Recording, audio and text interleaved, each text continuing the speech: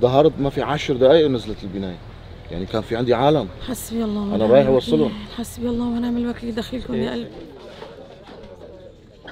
سمعنا شيء صوت قوي. طلعت على البرندة من هون شفت المبنى عم ينهار. شفته ب... شفته بآخر لحظة كيف هو عم يقلب. جينا نزلنا ولا قالوا العالم كلها تحت الأنقاض والعالم من ميتين وهيك المبنى انهار آه، بحدود الساعة تسعة ونص آه، مساء امبارح اثنين. عندنا ثمان أشخاص كانوا بالطابق الثالث خمسة آه، بشقة على اليمين وثلاثة بشقة على مالة الشمال آه، في أربع ضحايا وأربعة جرحى.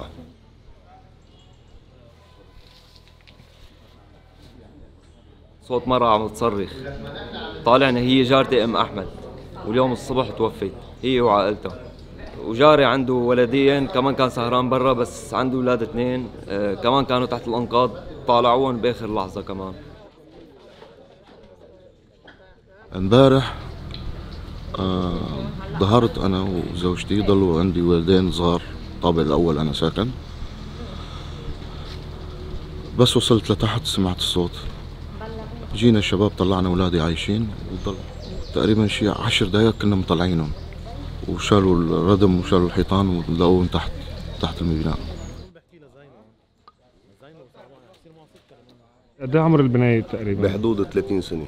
العقار هو في رخصة بس منه مفرز. هو عقار واحد مؤلف من ثلاث مباني.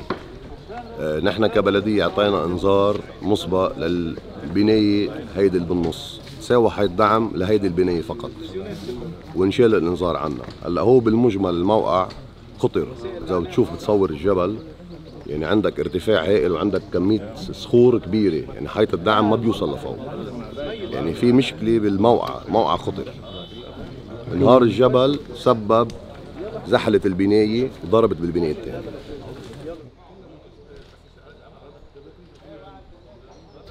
هو ما حدا بلغنا إنه هو مهدد بالانهيار بس نحن بلغنا إنه في شقف من الجبل عم ينزل.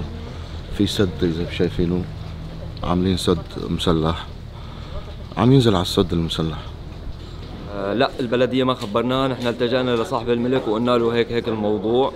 كان لأنه بوقت عم يطالبنا زودة أجرة بيت وهيك قلنا له إنه لا المبنى ما بيستاهل وهيك عم بيصير عنا. قال آه، ما عجبكم خلص فلوا نحن قلنا بدنا نفل بس ما عم نلاقي بديل.